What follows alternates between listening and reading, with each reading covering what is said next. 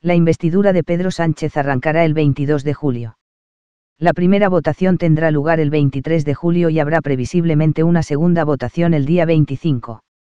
Sánchez no cuenta con los apoyos garantizados de Unidas Podemos ni de otras formaciones para ser investido.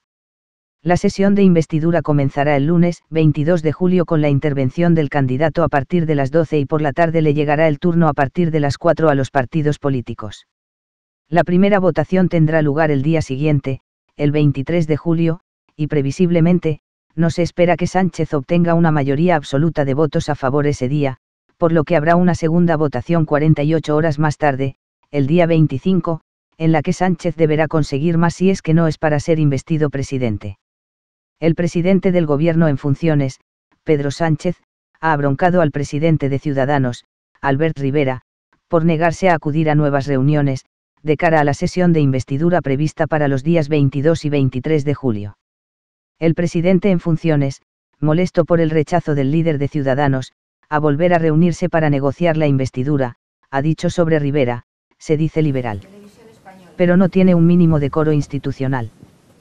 Hola, presidente. Yo quería cambiar un poco a clave, en clave nacional. Ya con la fecha del debate de investidura ya fijada, Quería, creo que tiene intención de volver a abrir una ronda de contactos. Quería saber un poco cuándo va a ser. ¿Qué le parece también que Rivera haya dicho hoy que no acudiría a esta ronda de contactos y si tiene alguna oferta diferente para Pablo Iglesias la semana que, cuando se haga esta ronda de contactos? Bueno, ya tendremos tiempo de hablar de la investidura. Tenemos hasta el 22 de julio. Eh, hemos estado aquí 48 horas eh, inmersos en otra realidad eh, también muy compleja. Yo creo que es importante trasladar a la opinión pública, porque a lo mejor claro, consideran, no tienen todos los datos y consideran, eh, bueno, un poco inexplicable que hayamos estado 48 eh, horas prácticamente sin dormir.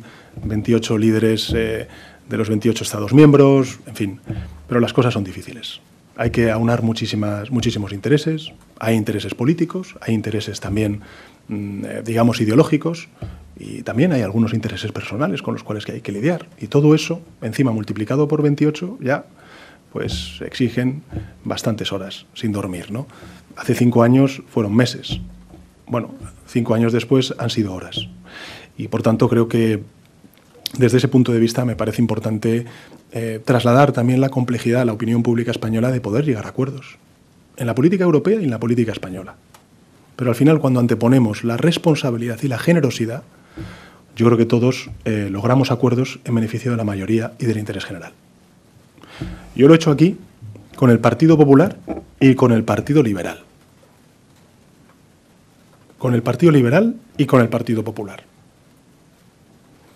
No deja de resultar llamativo que en España el que se dice que es el mayor representante de ese Partido Liberal no sea capaz no de, llegar a acuerdos conmigo, sino ni tan siquiera de tener un mínimo decoro institucional con la presidencia del gobierno. Fíjese que yo he tenido pues, relaciones muy difíciles con Mariano Rajoy como presidente del gobierno.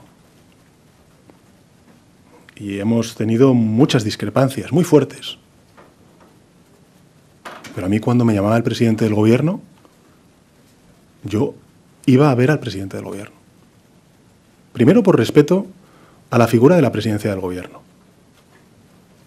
En segundo lugar, porque eso significa también regenerar la vida democrática, respetar las instituciones. En las instituciones nos ponen los españoles con sus votos. No caemos de Marte. Por tanto, eh, respetando a esa institución, en este caso la presidencia del gobierno, se está respetando también a los españoles y a la democracia que nos hemos otorgado. Y por tanto, yo creo que, más allá de las discrepancias que se puedan tener, con un partido político o con otro. Fíjese, yo tengo muchas discrepancias con el Partido Liberal o con el Partido Popular Europeo. Pero aquí hemos estado 48 horas trabajando conjuntamente para llegar a un acuerdo. Por tanto, yo lo que les pido, en este caso, ya que me pregunta usted por el partido del señor Rivera, pues es simplemente que guardemos las formas, el decoro institucional. Y luego, pues, si me quiere votar que no, que, que vote lo que considere. Si está en su en su capacidad y en su autonomía. Si yo no estoy cuestionando la autonomía, pero al menos tener una cierta, no sé, decoro, buenas formas, fair play, no sé cómo llamarlo. Pero estas cosas la gente lo agradece. Y en relación con eh, la última de sus propuestas, yo creo que eh, la oferta del Gobierno, eh, en este caso del, del, Partido Socialista, porque ahora soy candidato a la presidencia del Gobierno respecto a Unidas Podemos, es clara. Un Gobierno de cooperación.